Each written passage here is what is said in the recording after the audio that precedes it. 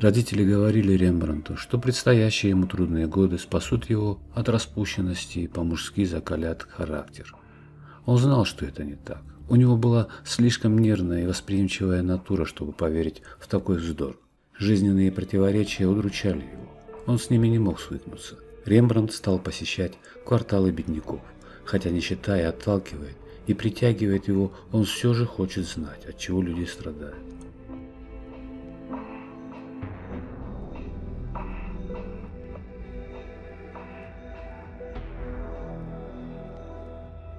Он предпринимал с этой целью одинокие устрашавшие его прогулки в мрачные и грязные тупики, расположенные позади глухих переулков.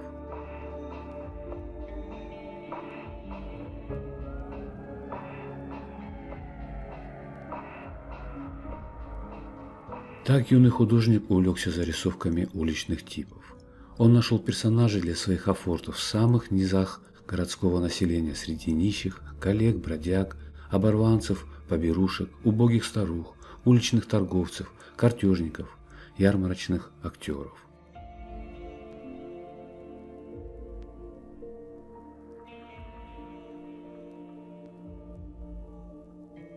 После того, как он увидел, что люди, ютившиеся здесь в низких душных помещениях, больше десяти человек в каждом, по своей смертной природе ничем не отличались от него, его родителей и приятелей, он решил узнать, как и для чего они живут, от чего умирают, и есть ли у них что-нибудь ценное в жизни. Перед ним открывалась ужасная действительность, и каждый раз он в испуге отшатывался. Но его снова привлекала в этих персонажах главным образом живописность их лохмотьев, составленных из отдельных кусков изношенной ткани и заплат, странность и внешняя характерность облика, черты, отличающие их от обычного горожанина. В свете разгоревшегося дня он различал все так необходимые ему подробности. Впалые щеки, припухлые животы, особенно заметные на фоне изможденных худобой тел, локти, высовывавшиеся из продранных рукавов.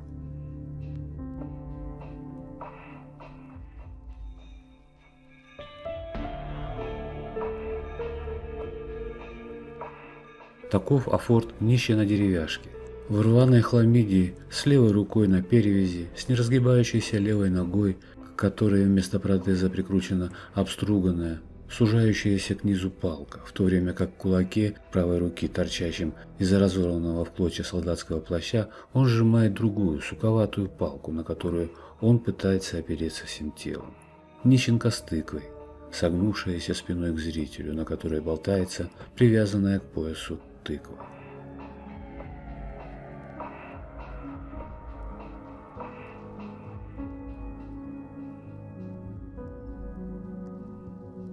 Таков и рембрандтовский прокаженный, так называемый Лазарус Клаб, широколобый, широкоскулый, больной бродяга, сидящий на пригорке с палкой между раздвинутыми костлявыми ногами и с трещоткой в руке, предупреждающий горожан об опасности встречи с ним.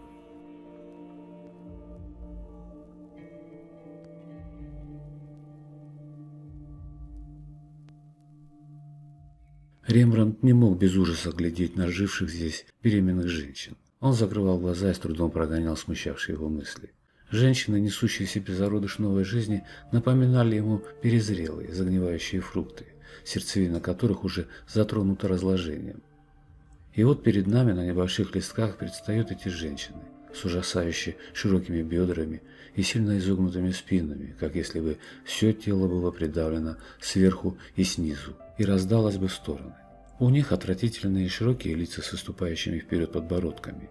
Эти фигуры иногда очерчены длинными штриховыми контурами, резкими противопоставлениями световых участков и темных тональных пятен. Обозначается пластика и одновременно передается игра солнца на изорванном трепье и обезображенных лицах.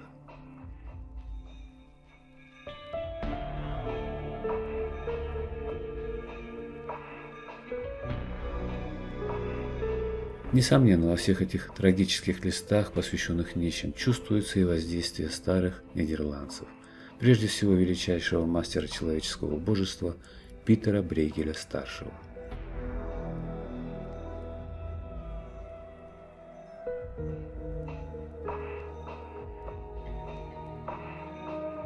а также сильное влияние крупнейшего французского гравера Жака Кало, в частности его серии «Нищие», где он впервые в истории европейского искусства запечатлел фантастические лохмотья и живописную нищету. Один из рембрандтовских нищих в современных художественных каталогах так и называется – в стиле Кало. В отличие от Брейгеля, создавшего незабываемые образы обреченных судьбой страшных коллег, тупых, плотоядных, алчных и злобных, Кало сочувственно показывал униженных, изуродованных жизнью людей.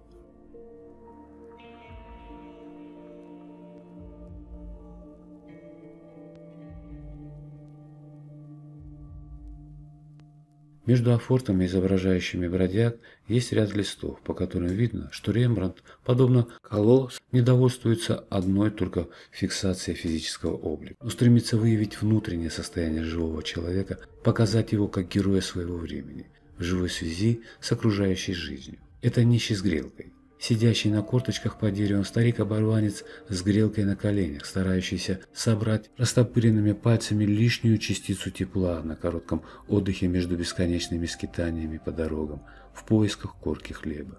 Трепещущие на ветру лохмотья, обрывки ткани, которыми нищий обмотал себе ноги взамен чулок, старый мешок, наброшенный им на голову, чтобы предохранить себя от утреннего холода и простуды. Все эти предметы, которым художник раньше придал бы на бумаге дразнящие фантастические контуры, он писал сейчас скупо и точно, ни на миг не давая воли воображению.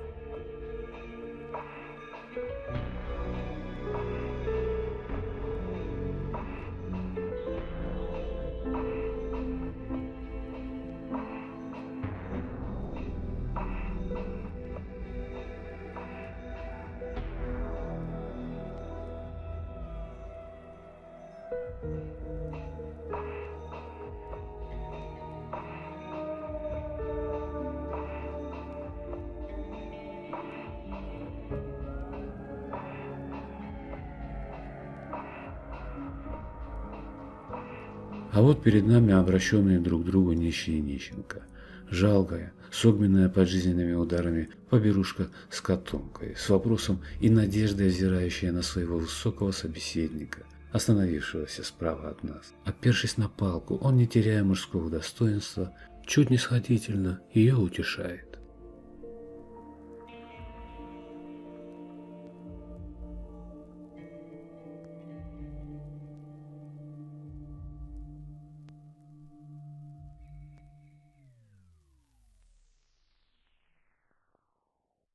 А вот отгороженный от черствого мира слепотой и безнадежно пытающийся привлечь чье-либо внимание, играя на перевернутой скрипке, предыдущий по улице незрячий скрипач, спрыгающий впереди дворняжкой, единственным другом нищего музыканта.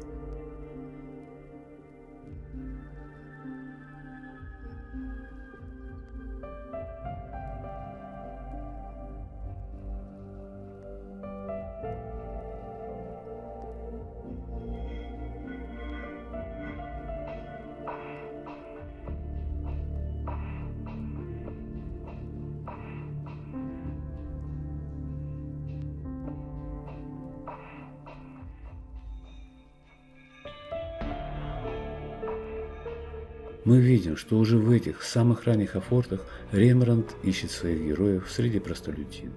Бюргеры в фортах Рембрандта всегда живут за толстыми стенами и дубовыми дверьми, лишь через окошко общаясь с миром, и симпатии художника явно не на их стороне.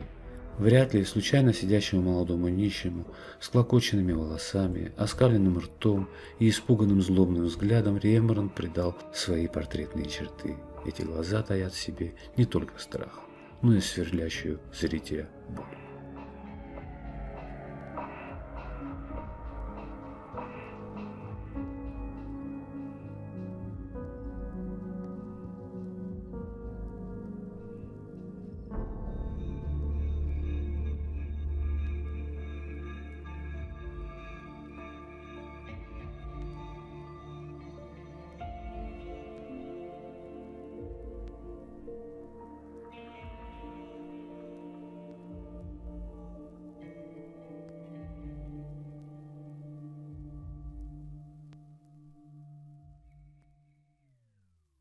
Наброски с бродяг и нищих были удачные, более чем удачные. Он переносил их резцом на медную афортную дощечку.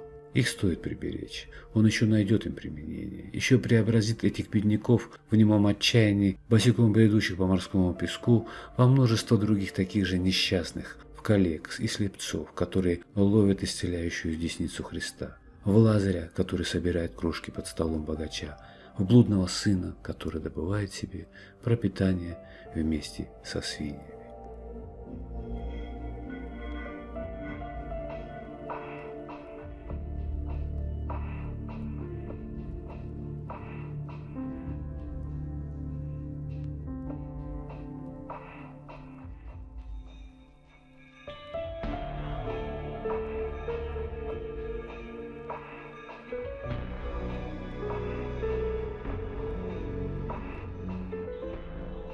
В нескольких вариантах существует рембрандтовский афорт блинчица. На нем изображена бабушка, сидящая у очага. Она торгует на улице блинами, которые она тут же жарит и, нагнувшись, переворачивает на сковороде. Вокруг нее суетятся осчастливленные дети. И только спереди двухлетний малыш в беде, так как собачонка хочет отнять у него блин. С теплым юмором изображает художник покупателя на заднем плане. Он деловито просунул руку сквозь совершенно изодранный карман своих широких штанов, в котором нет и не могу задержаться ни одной монеты, о чем ему прекрасно известно. Блинщица терпеливо и сочувственно ждет, хотя знает, что ничего не получит. Видимо, ей придется дать ему один блин даром.